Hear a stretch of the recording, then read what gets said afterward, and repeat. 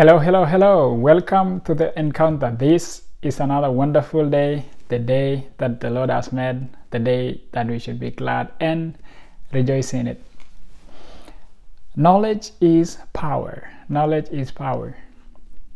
Ever heard of that phrase? Knowledge is power? Yes, it is. Why do you think we have the haves and the have nots? Given that we have the same resource, our mind, that we've been, I've talked about this in our previous videos. Given the fact that we all have the same resource, our mind, why do we have the haves and the have nots? That means there is something that they know that we don't. Obviously, there is something that makes them have that makes the other person not to have. That aside, we have people saying we are looking up to the government to do this and that. Do you know how governments make money? You are the people who pay the government. Government makes money through your taxes. You pay your taxes, the government gets revenue, and they run projects. If your taxes that you raise are not enough, then they go ahead and borrow the deficit, and then they'll be able to do their things. So that means you can be looking at this age, you can be looking at the government to help you with something. But you have to find ways to earn a living. We don't make money. We don't have the capacity to make money. Governments don't have the capacity to make money either. The only people who have the capacity to make money are the Federal Reserve and central banks. Those are the only people who can make money.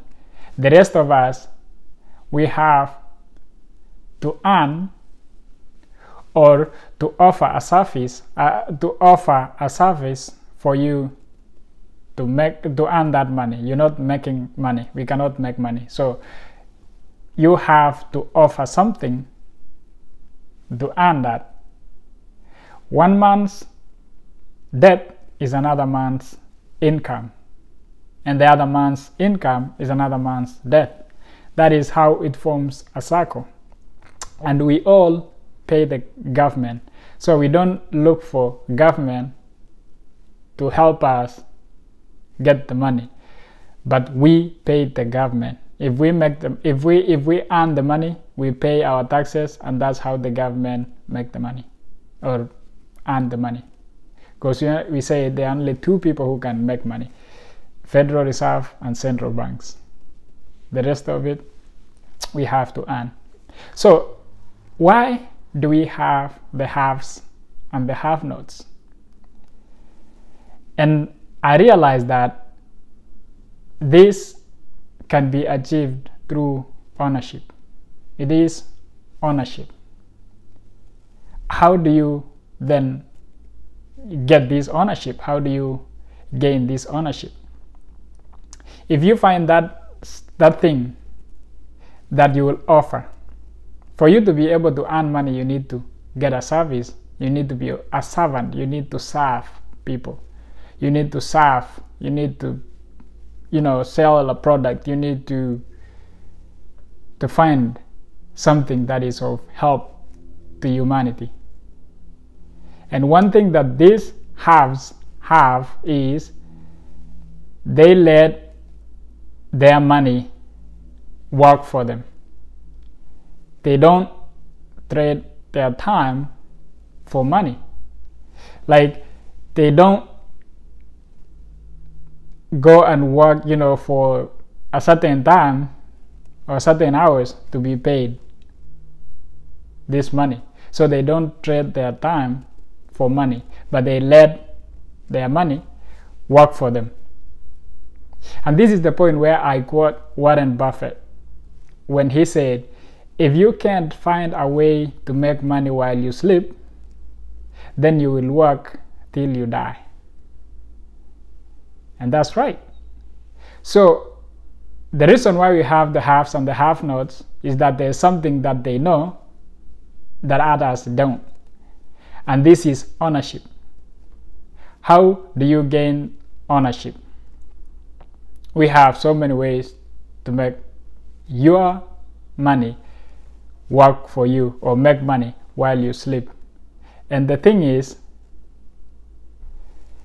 think of how do you buy back your freedom? How do you buy back your freedom?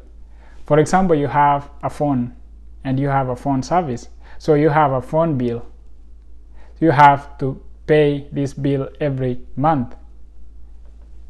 Have you ever thought of owning that company that gives you that service? And you're like, oh, I'm not smart enough. I can start my own business. I can run my own business. Okay, how about buy into that business so that every transaction you make leads you somewhere. How about buy a share in that company that you pay your bills to? Just get some shares so that every time this company makes money, you also make money, and that is building your equity. That way, you leverage on that company. Have you ever had these big people? They say they have shares in this and that company, and therefore, a share or a stock is a part, owning part of that company. That means you own that company. So if I pay my bills to a certain phone company uh, that gives me a certain service, or even the, the, the, the your, your electric bill, that money goes towards making you money and even you know when you are asleep you will be able to be making something for you to be able to find ways to make money while you sleep you need to think and rethink of getting some shares or stocks or whatever thing be the owner of this company. You always like people like wearing brands like you wear Nike, you wear Adidas, you wear whatever the brand that you like to wear. Have you ever thought of ownership? Build your equity. Why not buy into that company so that every other time you go buy the shoe, you make the company profitable and you own that business. The reasons why we have the haves and the have nots is because the haves have found ways to make their money work for them. They don't trade their time for money, but they buy into these companies. Ownership, equity. Build your equity. Build However, little it is, you can buy a share.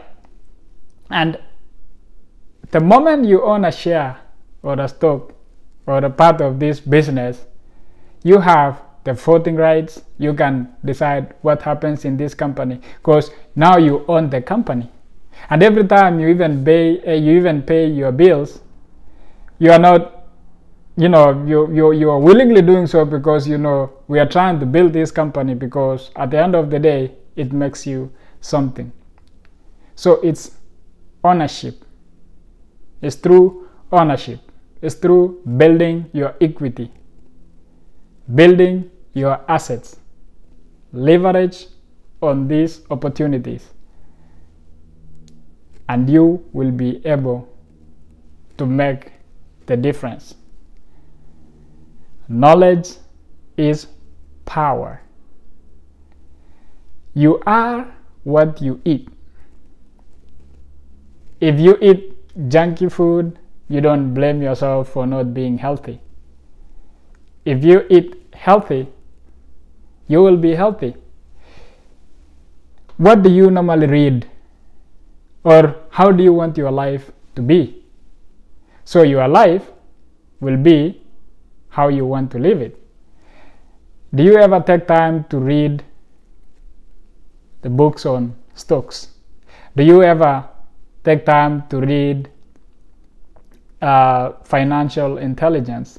Do you ever take your time to check what's going on on the markets?